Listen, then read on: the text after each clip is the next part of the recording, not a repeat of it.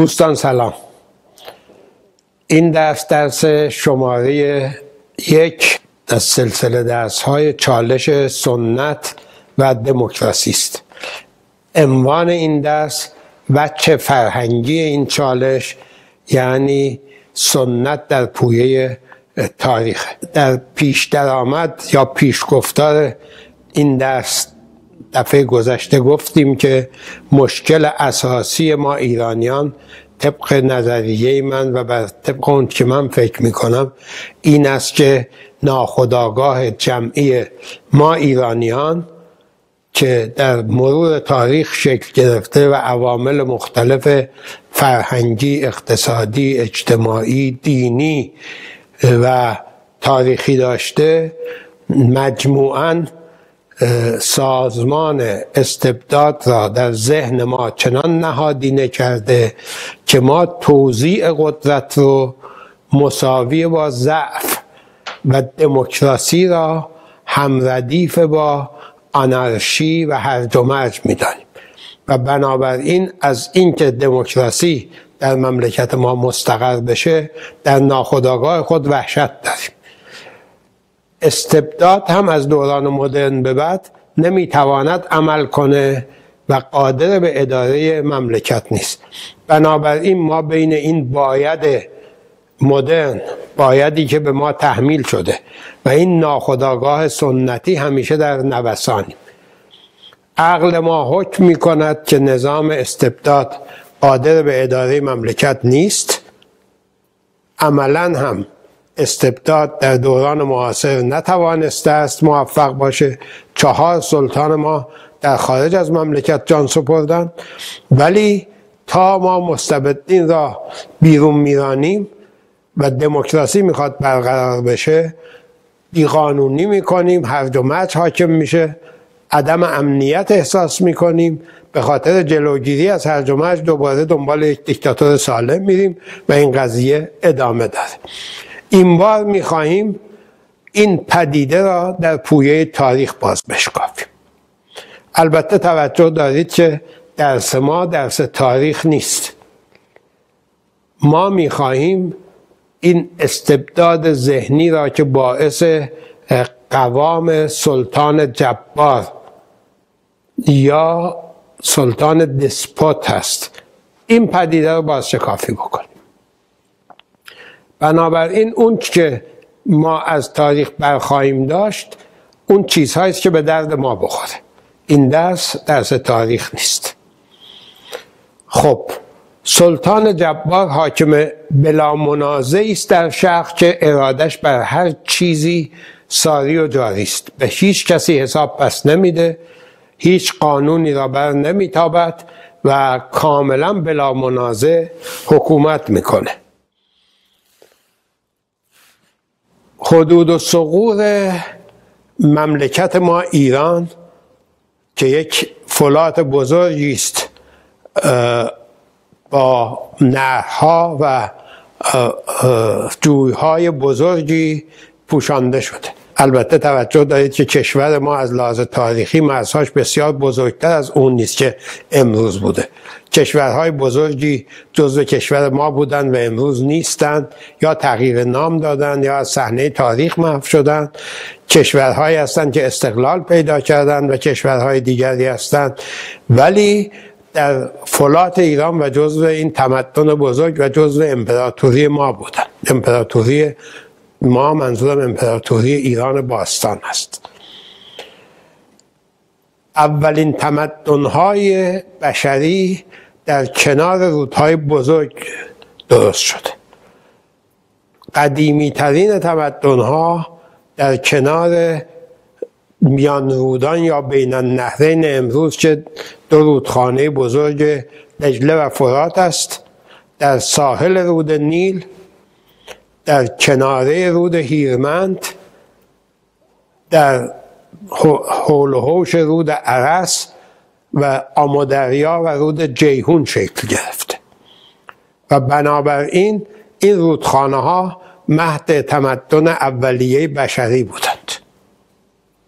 تحقیقات نشان می‌دهد که پدران ما از جلگه سند در هند کوچ کردند و به ایران آمدند.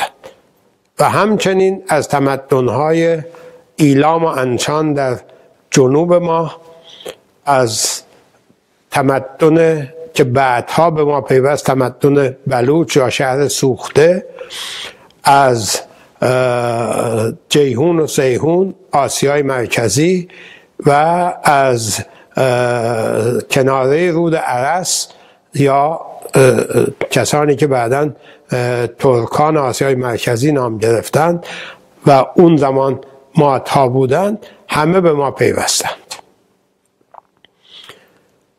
مجموع اینها تمدن ایران رو تشکیل میده. ما از اقوام مختلف توایف گوناگون با زبانهای مختلف و مذاهب مختلف تشکیل شدیم. ابتدا شکل حکومت در ایران شکل ابتدایی دودمانی یا خاندانی بود. ولی پس از اینکه کوروش یک امپراتوری بزرگ رو برپا کرد دیگر شکل ابتدایی دودمانی یا خاندانی تکافوی به مقصد نمی کرد و نمی توانست یک امپراتوری بزرگی رو اداره کنه. بعضی از متفکرین می‌گویند که ما نظام پادشاهی یا شاهنشاهی رو از سومریان گرفتیم این نظام که در رأس اون یک سلطان جبار یا حاکم دیسپوت بود سازمان اداری بزرگی رو داشت که می توانست به کمک دیوان یا سازمان اداری منظمش این امپراتوری وسیع رو اداره بکن. البته در تمدنهای بین رودان مثلا بخت و و همرابی بسیار جبارتر از حکومت ایران بودند. در اونها قربانی کردن انسان و همچنین مجازات های بسیار سختگیرانه و بردهداری به عنوان شکل غالب تولید کشاورزی رواج داشته. در ایران ما قربانی کردن انسان رو نداشتیم. کوروش در کتیبه خود بخت و نصر را نکوهش می کند که جوانان را در مراسم مذهبی قربانی می کرده است. همچنین داریوش پس از فتح کارتاژ یعنی تونس کنونی به مردم آنجا می‌گوید که باید عادت خود را ترک کنید و جوانان و مردمان را در مراسم مذهبی قربانی نکنید. ما همچنین شکل بردهداری را در نظام کشاورزی خود به عنوان شکل غالب تولید نداشتیم و در دستگاه های اداری و جنگ ها هم برده ها در حقیقت استثمار نمی شدن. ولی نوعی از بردهداری که بردهداری خانگی است استفاده از برده در کارهای خانه تا همین اواخر در ایران رواج داشت منظورم این است که با وجود اینکه دسپوتیسم از نظر متفکران غربی به همه کشورهای شرقی اطلاق شده ولی در ایران شکل ملایمتری داشته حال تئوری های گوناگونی است که چرا این شکل حکومت در شرق پا گرفته و در غرب پا نگرفته تئوری های مختلفی برای این کار هست که اونها رو بازگو خواهیم کرد و تحلیل خواهیم کرد و جنبندی خواهیم کرد تا اینکه به نتایجی که می‌خواهیم برسیم. قبل از اینکه به علت به وجود آمدن استبداد شرقی و تئوری های اون بپردازیم فلسفه سیاسی استبداد شرقی رو هم می‌خوایم بررسی بکنیم.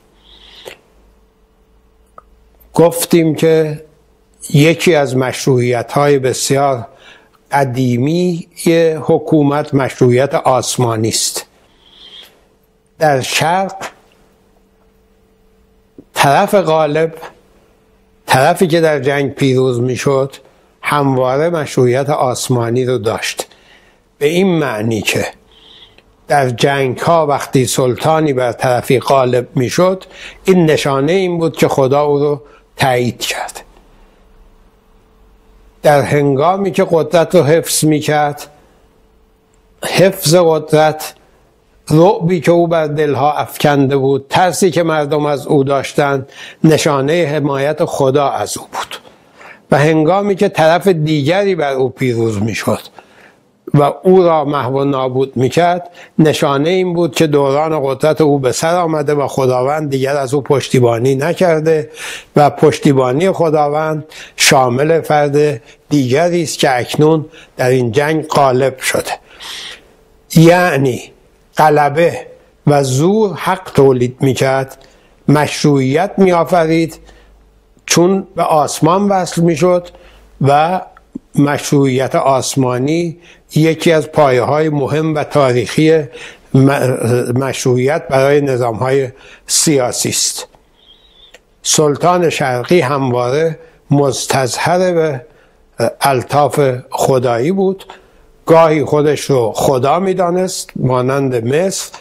گاهی خودش رو خدایگونه می‌دانست مانند بخت و و همورابی و گاهی مانند شاه ایران خودش رو معید و الطاف الهی می‌دانست فرزه ایزدی بر حول سر او بود و نوری که فرض می‌شد بر حول سر اوست نشانه وصل او به تعییدات الهی بود.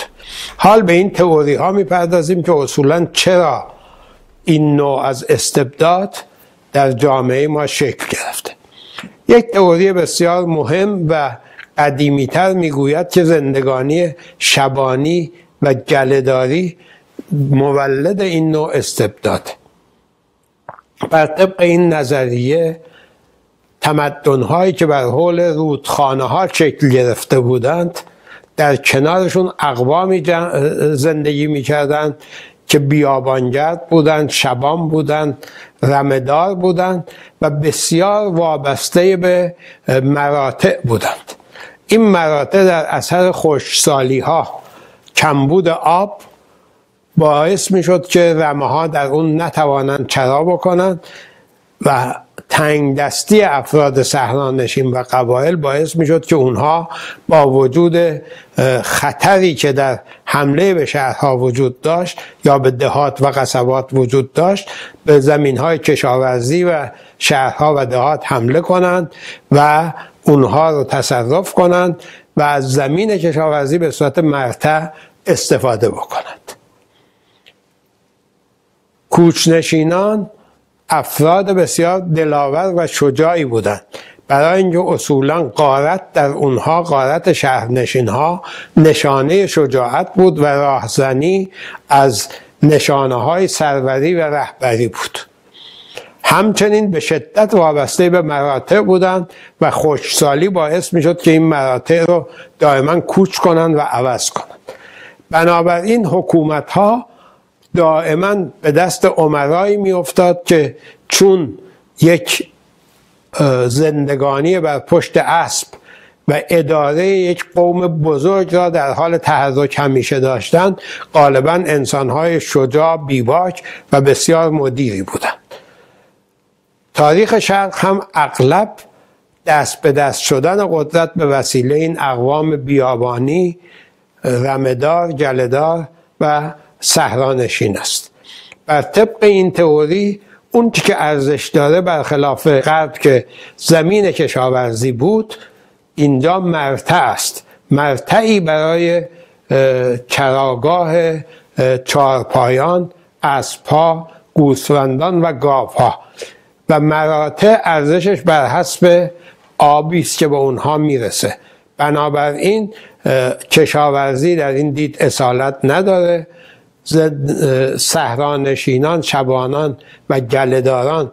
چون با زندگانی شهری آشنا نبودن حتی نسبت به اون نوعی یا حسادت و یا نفرت داشتند هنگامی که شهرها و دهات رو تصرف می‌کردند بسیار با قتل و غارت و خونریزی و نابودی تمدن شهری تو هم بوده و اغلب تمدنی که وجود داشت از بین می‌رفت و مجددا یک سلسله جدید اونجا شروع می‌کرد و تمدن رو از نو میساخت.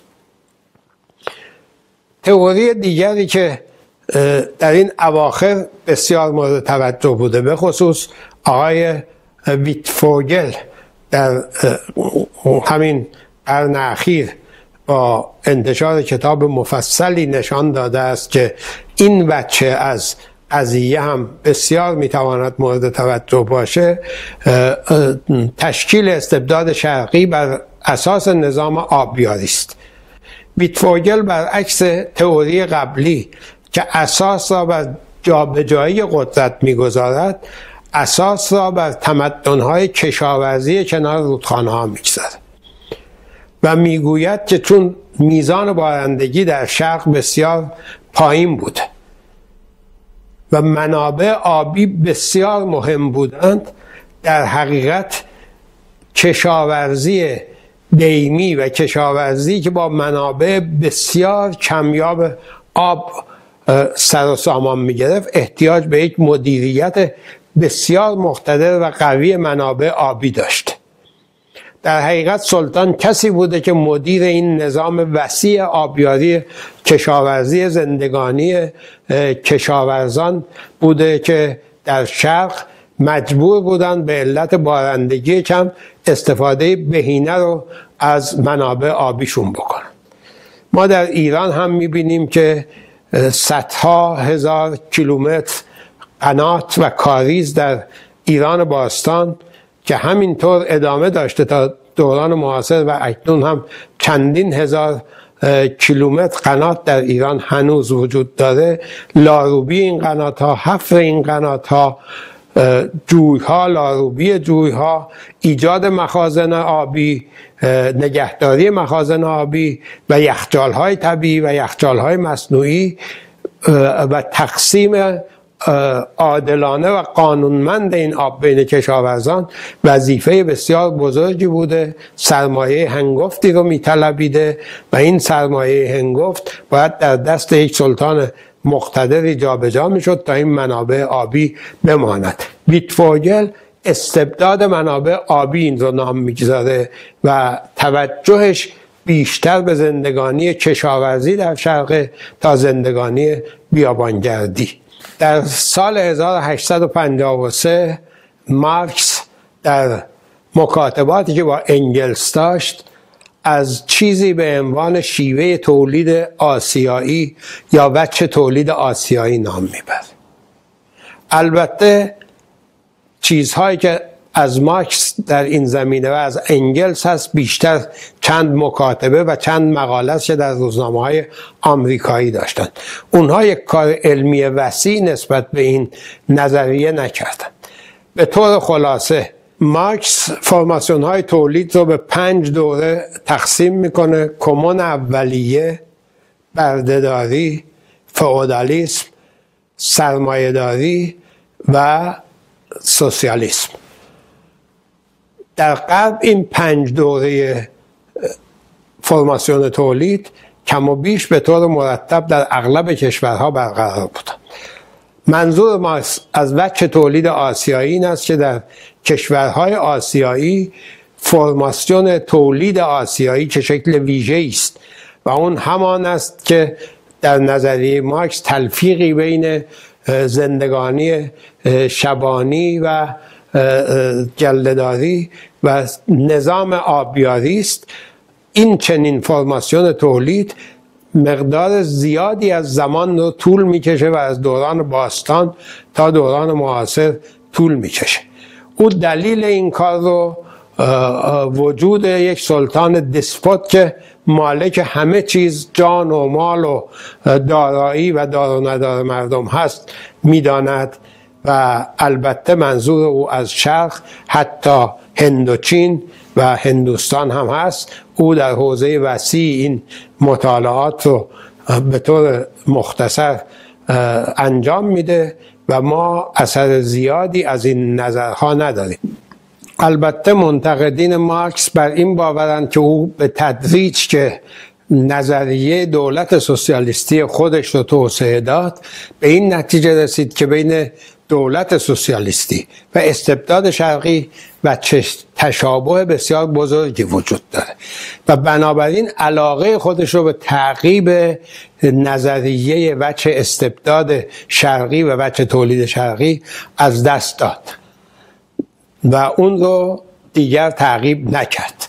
با کنین آنارشیست معروف روسی و از منتقدین مارکس می‌گوید که مارکس به جای اینکه مردم را آزاد بکند دولتی را بر آنها مسلط کرد که مانند سلطان شرقی بر جان و مال و همه چیز اونها مسلط بودند. تئوری بعدی تئوری است که قوانین وراست و اثر اونها را بر کلان مالکی تحلیل میکن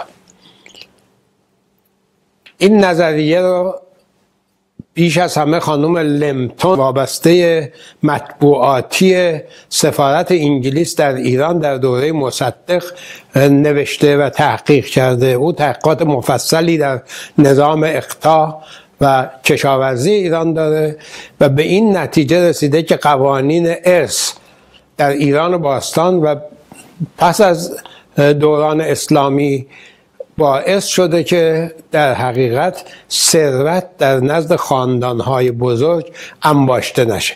قوانین ارث زمین ها رو تقسیم کرده و این تقسیم زمین ها از اکومولاسیون یا جمع شدن ثروت در دست قطبهای ثروت جلوگیری کرده و این باعث شده که در ایران بخش خصوصی قوی در مقابل سلطان مستبد پانگیر البته این نظریه هر چند می‌تواند به نوعی عدم تجمع ثروت رو در وچی توضیح بده اما قادر به توضیح اینکه چرا سلطان شرقی به وجود آمده تا بخش خصوصی قوی یا به وجود نیاد یا این قوانین باعث بشه که قوی نشه از توضیح این مطلب عاجز است. تئوری بعدی را دوست فرهیخته ما آقای همایون کاتوزیان که اقتصاددان جامعه شناس و تاریخدان هست بیان می‌کنه تحت عنوان جامعه کوتاه مدت و جامعه کلنگی او می‌گوید که در ایران به علت اینکه مالک، مالکیت یک حق نبوده از ابتدا به خاطر وجود سلطان جبار یک امتیاز بوده و فقط در اختیار سلطان بوده هیچ موقع حق مالکیت رسمیت پیدا نکرد.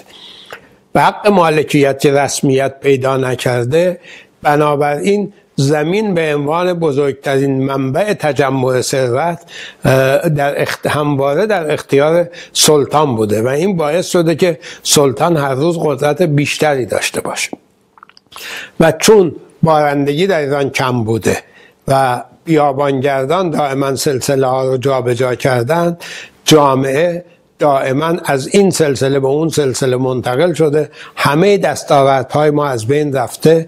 جامعه ما هم عادت کرده که بعد از هر تغییر همه چیزها رو از بین ببره و در نتیجه تمدن ما یک تمدن کلنگی و جامعه ما یک جامعه کلنگی و کوتاه مدت. اما چیزی که در شرق نظریه بسیار جالب و در حقیقت قدیمی است نظریه ابن خلدون نظریه پرداز تاریخدان و محقق قرن چهارم هجری است. ابن خلدون از یک خانواده ای در اندلس در اسپانیا به دنیا میاد و بعد این خانوادهشون در قرن سوم به تونس مهاجرت می‌کنن. در جوانی ابن خلدون هم خانواده از تونس به مغرب میاد. او جهانگردی را آغاز می کند و بعد از دیدن تمدنهای زیاد نظریه ای را می آورد که به نظریه عمران و عصبیت معروف. او کتاب معروفی به نام العبر می نویسد که کتابی در انتقادی در تاریخ برخلاف همه تاریخ نویسان او بیش از اون که به سرنوشت شاهان و علمای مذهبی و جامعه اشراف بپردازد و به جنگ های اونها اسم تاریخ بده به جامعه توجه می‌کنه. او جامعه رو به سه دسته تقسیم بندی می‌کنه. یعنی صحرانوردان، بیابانگردان، دامداران و شهرنشینان. او می‌گوید که قایت آمال و آرزوی هر صحرا نورد و بیابانگردی زندگی در ده و یا شهر. اما این صحرانوردان زندگانی بسیار سختی رو دارند به خصوص اون نظرش از صحرانوردان و صحراگردان اعراب بیابانگردی است که در دوره او در حقیقت بیشتر سلسله ها رو تشکیل میدن او می‌گوید در بین این صحراگردان عنصری به عنوان غیرت قبیله یا عصبیت وجود داره که نتیجه زندگانی سخت و خشن قبیله ای اونهاست و اونها چون امنیت رو در قبیله میابند وحدت قبیله و وابستگیشون رو به قبیله و همیتشون رو نسبت به خاندان اسم و قبیلهشون و عشیرهشون بسیار بهش بها مینهند و چون سوارکاران ماهری هستند چون در صحرا زندگی می‌کنند رند خو هستند و حیوان طبیعتند در حقیقت با حمله به شهرها می توانند شهریان را که در اثر زندگانی شهر به تجمل عادت کردند. وقتی شهرنشینان در شهرها زندگی می کنند ابن خلدون می‌گوید که اونها امنیت خودشون رو به برج و باروها به نیروهای نظامی سلطان به امنیتی که در شهر واگذار می‌کنند و هیچ ترسی از عدم امنیت ندارند. بنابراین انسان های راحت طلبی میشن. به پول ثروت و حوث های شهری وابسته میشن و چون چنین است در اثر هیچ تمرین نظامی برای دفاع خودشون ندارن پس از حمله صحراگردان و بیابانگردان مغلوب اونها میشن. او این عنصر را عنصر غیرت یا عصبیت میگه که در مقابل عمران و تجمل شهری است او در یک دیالکتیک زیبا نشان می‌داد که چگونه قبیله به شهر میاد آلوده به زندگی شهری میشه. پس از اینکه آلوده به زندگی شهری شد به نظر او فاسد میشه. او خیلی طبیعت گراست او بها میده به زندگانی قبیله ها و می‌گوید که قبائلن که اصالت دارن چون انسان طبیعی و اونها میان شهرنشین ها رو برمیندازن. چنین نظریه ای به خصوص پس از اسلام بسیار منطبق با اون چیزی است که بر سر ما رفته و دائما